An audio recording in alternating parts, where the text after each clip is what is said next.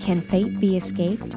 If the future isn't fixed, if steps can be taken to change it, can this really be called fate? I'm Rem Whitcraft, and this is Fiction Briefly. People have been asking this question for centuries, and it can be fun to speculate on one's own innate potential. But what if the result of knowing one's fate plays a role in its coming to fruition? I give you Oedipus. One of the most enduring heroes from Greek myth, Oedipus, shares a commonality with Judas and other characters given away at birth who are doomed to sleep with their own mothers.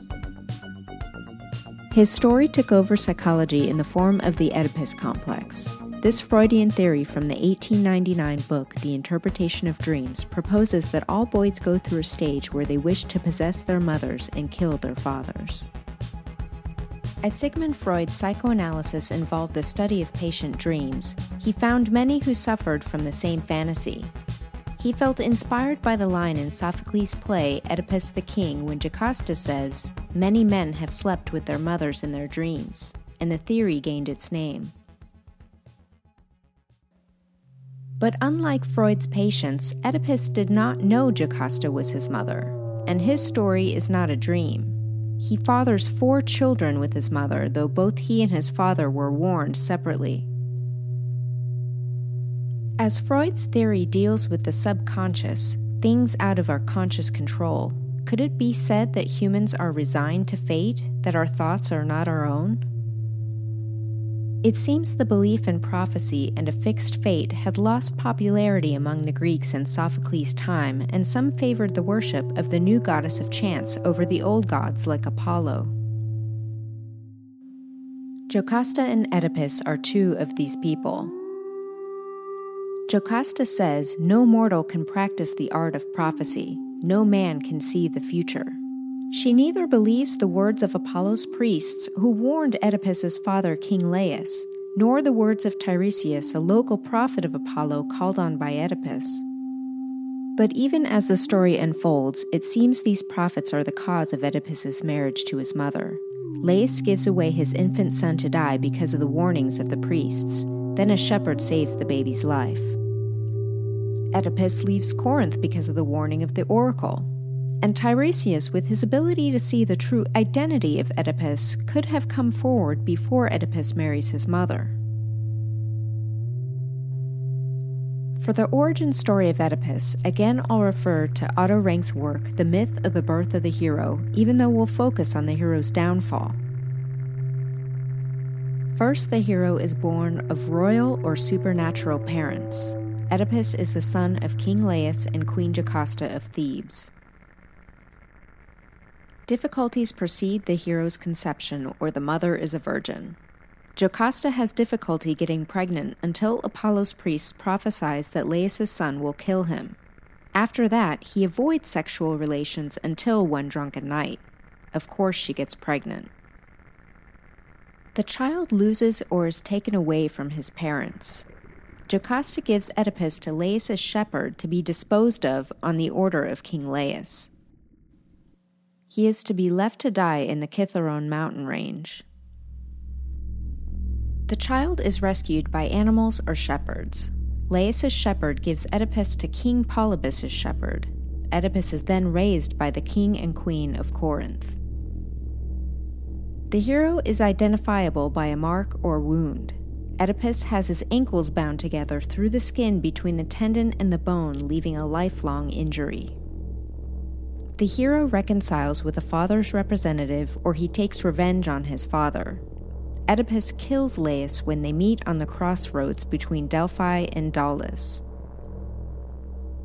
As with the hero's journey in Star Wars, I reference Vladimir Propp's morphology of the folktale for the origin story of Oedipus, pieced together in part from Sophocles' Oedipus the King, written between 429 and 425 BCE, and Otto Rank's The Myth of the Birth of the Hero, published in 1909.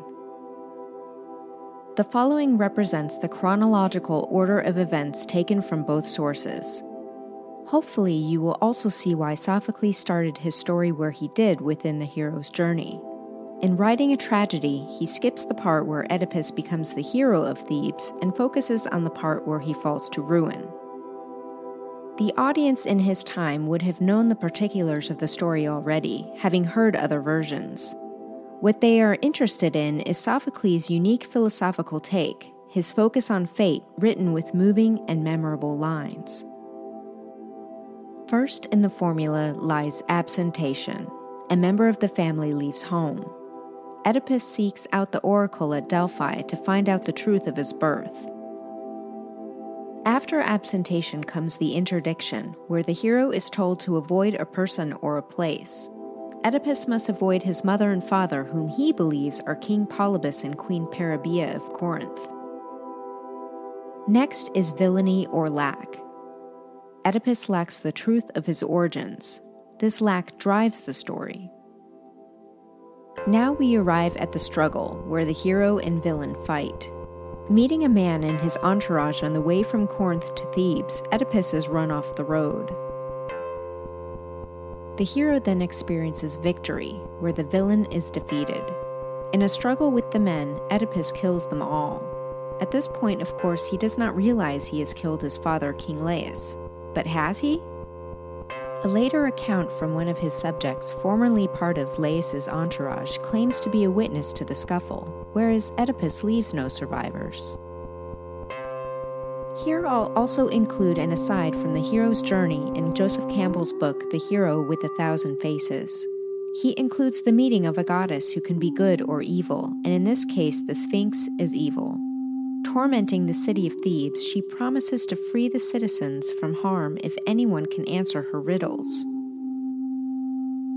As Laius has not returned to his kingdom, Jocasta's hand in marriage is offered as additional incentive. The Sphinx asks her riddle, and Oedipus answers correctly. The Sphinx kills herself by throwing herself into the ocean.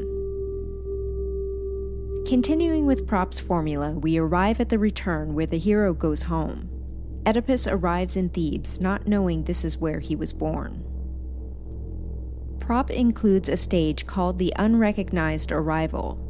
This is where Oedipus arrives in Thebes without his true identity as son of Laius and Jocasta known.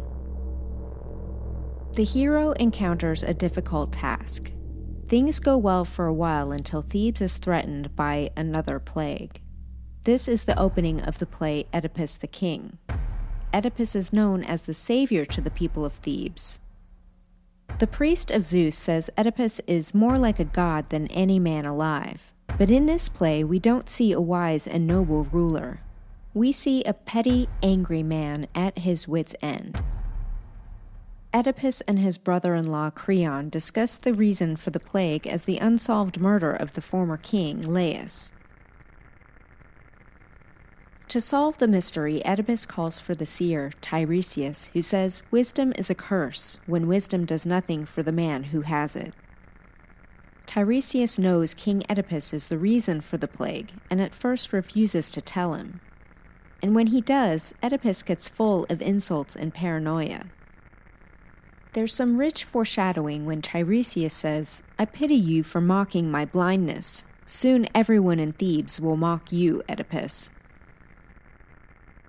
Oedipus thinks brother in law Creon has turned against him and is trying to get his throne, but he hasn't heard the worst of Tiresias' news.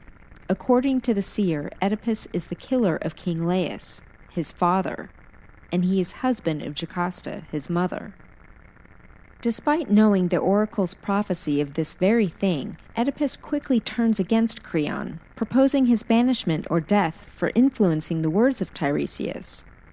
It's not until the hero is recognized, another step in Propp's formula, that Oedipus becomes convinced.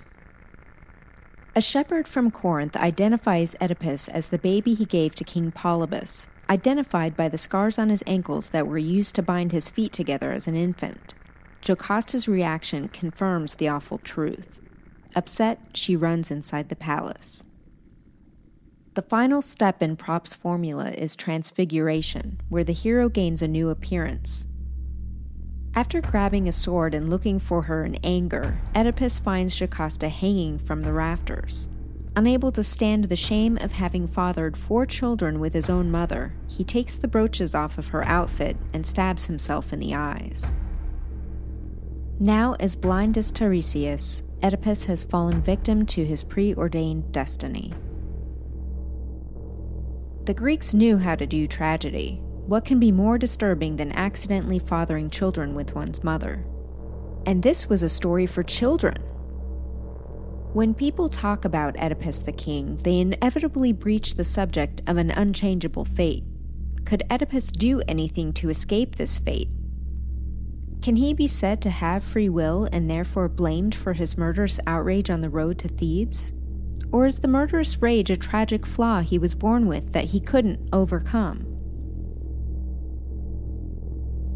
Regarding the concept of free will, French philosopher Louis Althusser wrote that we live under an illusion that permeates everything we do. The most pervasive illusion is that of individual freedom. Our lives are partially determined by our birth, our environments, and our opportunities, but we are also bombarded by political, religious, and consumerist ideologies, making our thoughts and actions the thoughts and actions of others. Think of the pressure to buy the latest technological product. Your old one works fine, except for a couple of glitches that could be repaired, but you don't want to be left behind. You want to be at the forefront of progress. This is just one aspect of consumerism. Certainly, there are choices presented which individuals can act upon, but the external pressure and internal makeup to follow one path or another have more weight than most realize. As a society, we may no longer believe in fate the way ancient Greeks did, but to an extent, our destinies are still determined by factors out of our control. I contend that the play Oedipus the King has a strong case for the existence of fate, but shows that the gods are pretty messed up. Oedipus is told King Polybus and Queen Periboea are not his real parents even before he leaves Corinth. That's why he goes to the oracle in the first place. If he is as clever as the play suggests, he would steer clear of any older woman for a wife, realizing that Queen Periboea is not his mother. It's partially his trust in the prophecy which does him in. If knowing their fate caused them to take actions they normally wouldn't have, the gods are just cruel. But then, we knew that already.